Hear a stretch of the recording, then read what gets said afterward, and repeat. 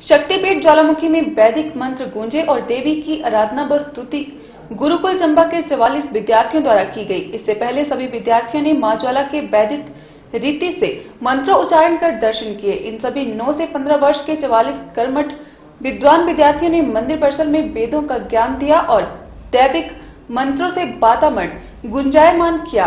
यहाँ आए श्रद्धालुओं ने भी इस वैदिक स्तुति में हिस्सा लिया।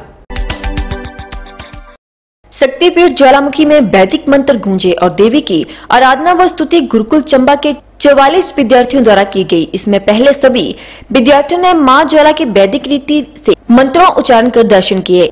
इन सभी 9 से 15 वर्ष के 44 कर्मठ विद्वान विद्यार्थियों ने मंदिर परिसर में वेदों का ज्ञान दिया और दैविक मंत्रों से वातावरण गुंजायमान किया। यहाँ आए श्रद्धालुओं ने भी इस वैदिक स्तुति में हिस्सा लिया। मंदिर पुजारी वर्ग अन्य ने इन सभी कर्मठ विद्यार्थियों की वैदिक और संस्कृत मंत्रों उच्चारण, भगवती स्तुति और आराधना को सुना। साथ ही इन्होंने पुरातन वेदों की भी जानकारी सभी को दी। इस शिविर का शुभारंभ ज्वालामुखी मंदिर अधिकारी बिशन दास द्वारा किया गया आर्ट ऑफ़ लिविंग के सदस्य वासुदेव शर्मा ने जानकारी देते हुए बताया कि चंबा के 44 कर्मठ विद्यार्थियों द्वारा आद्य शक्ति ज्वालामुखी के सानिध्य में, मंदिर के प्रांगण में वैदिक मंत्रों द्वारा भगवती की स्तुति, ध्यान व आराधना की गई। वेदों का ज्ञान भी दिया गया। इस कार्यक्रम करने का मुख्य उद्देश्य विश्व कल्याण, विश्व में शांति एवं सभी स्वस्थ रहे। इसका मुख्य उद्देश्य ये हमारा सनातन धर्म उठा रहे और ज़्यादा से ज़्यादा लोग इसका ज्ञान लें और सभी लोग इससे जुड़े ताकि हमारी संस्कृति जीवित रहे। ये हमारा राष्ट्र के बहुत ही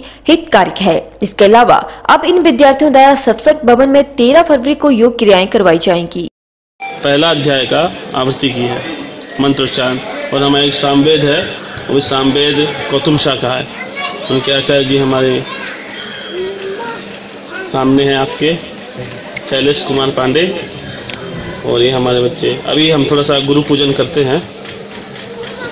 आप लोग भी थोड़ा सा साथ दें हमारा। ध्यान लग प्रांगण में आज हम आर्ट ऑफ़ लिविंग संस्था के गुरुकुल, जो चंबा में चल रहा है, उसके सभी वेदा बॉयज़ को यहाँ पर सम्मिलित करके हम हमारे वैदिक एजुकेशन को प्रमोट करने के लिए और विश्व में कल्याण, सुख, शांति रहे, स्वस्थ रहे सब, इस उद्देश्य से हम यहाँ पे वेद पाठ, मंत्र उच्चारण के माध्यम से और सत्संग करेंगे।